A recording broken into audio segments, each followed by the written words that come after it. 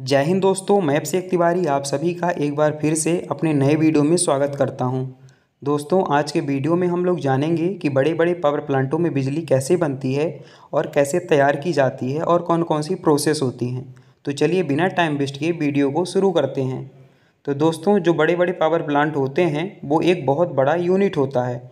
लगभग तीन से चार किलोमीटर के एरिया में यह फैला हुआ होता है, जिसमें बहुत सारे खंड होते हैं। तो इस वीडियो में हम सभी खंडों के बारे में एक एक करके चर्चा करेंगे।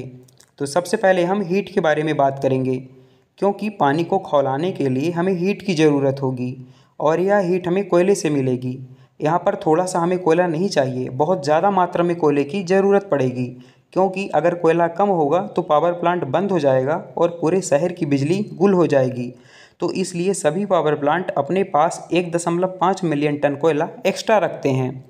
जो कि चालीस दिन का स्टॉक होता है। और यह कोयला जहाँ रखा जाता है, उसे हम कोल यार्ड कहते हैं।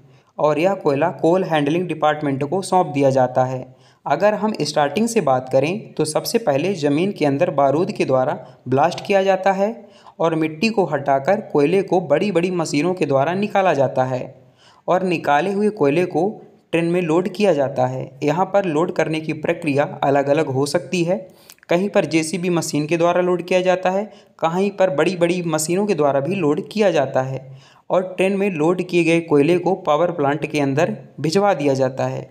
जब हमारा ट्रेन के द्वारा कोयला पावर प्लांट के अंदर पहुँच जाता है और पावर प्लांट में ही एक यूनिट होती है, जिसे हम कोल हैंडलिंग डिपार्टमेंट कहते हैं। कोल हैंडलिंग डिपार्टमेंट क्या करता है कि इस ट्रेन में लोड किए गए कोयले को नीचे निकलवा देता है, जिसे कोल यार्ड कहते हैं। और इसी कोल यार्ड से कोयले को कन्वेयर बेल्ट के द्वारा क्रेशर मशीन तक ले जाया जाता है, जहाँ पर मशीन कोयले के छोटे छोटे टुकड़े कर देती है। और अब उन छोटे छोटे टुकड़ों को पुनः कन्वेयर बेल्ट के द्वारा पाउडर बनाने के लिए बाउल मिल में भेजा जाता है, जहाँ पर मशीन कोयले का पाउडर बना देती है ताकि हमारा कोयला पूरी तरह से जल सके और राख कम बने। और पूरे प्लांट का लगभग 50 परसेंट एरिया कोल यार्ड के पास ही होता है। और यह बहुत बड़े एरिया में फैला हुआ होता है। और अब बात करते हैं कोयला पाउडर बन जाने के बाद अब अगली प्रोसेस क्या होती है? अब अगली प्रोसेस होती है कोयले को जलाने की। तो कोयले को बॉयलर में डाल दिया जाता है। वायलर एक ऐसी मशीन होती है जिसके अंदर आग लगाया जाता है। नीचे भट्टी में आग लगाकर किसी चीज़ को ऊपर रख कर उबालना ही बॉयलर कहलाता है। इस बॉयलर मशीन में हम किसी भी बड़े कोयले को नहीं डालते। बल्कि उस कोयले को डालते हैं जो पाउडर के रूप में होता है। जब हम पाउडर वाले कोयले को बॉयलर में डालते हैं तो कोयला जलने लगता है। जब बॉयलर में कोयला जलता है तो कोयले के भारी कण जो होते हैं, वो बॉयलर के नीचे आ जाते हैं। बॉयलर के नीचे एक जाली लगी होती है और उसी जाली से छन कर कोयले के भारी कण राख के रूप में नीचे आ जाते हैं, जिसका उपयोग सीमेंट बनाने या और किसी कार्य में कर लिया जाता है। और जो कोयले के हल्के कण होते हैं, वो बड़ी बड़ी चिमनियों के द्वारा ऊपर निकाल दिए जाते हैं। जब कोयला बॉयलर में जलता है तो उसी जलते हुए कोयले के ऊपर पानी की पतली पतली ट्यूब्स होती हैं, जिनमें पानी भरा हुआ होता है। जब बॉयलर में आग जलती है तो ट्यूब में भरा हुआ पानी भी गर्म हो जाता है और स्टीम बन जाता है। अब इसी स्टीम को बड़ी बड़ी पाइपलाइन के द्वारा टरबाइन तक ले जाया जाता है। आपको बता दें कि टरबाइन भी कई प्रकार की होते हैं जैसे low pressure turbine high pressure turbine intermediate turbine और जो स्टीम बन के रेडी है, उस स्टीम को हाई प्रेशर के द्वारा टरबाइन से गुजारा जाता है। और जैसे ही हाई स्पीड के द्वारा स्टीम इस टरबाइन से गुजरती है तो टरबाइन घूमने लगती है और इस टरबाइन से एक बहुत बड़ी साफ्ट के द्वारा एक बहुत बड़ा जनरेटर कनेक्ट होता है। जब टरबाइन घूमती है तो साफ्ट भी घूमती है और साफ्ट जनरेटर को घुमाती है। तो जनरेटर जैसे ही घूमता है तो बिजली बनने लगती है।